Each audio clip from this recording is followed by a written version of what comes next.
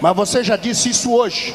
Como é que Deus pode usar aquele obreirozinho da igreja de vocês? Um homem analfabeto. Como é que Deus pode usar esse camarada?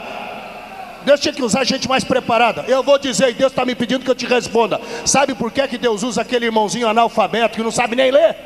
Que não sabe nem falar? Deus usa ele porque Ele quer usar você, mas você não tem coragem de entregar a sua vida para ser usado nas mãos de Deus. Aí Deus usa quem Ele quer, usa quem Ele quer, usa as coisas loucas para confundir as sábias, usa as coisas que não são para confundir as que são. Deus está aqui chamando homens e mulheres para realizarem a obra do Senhor.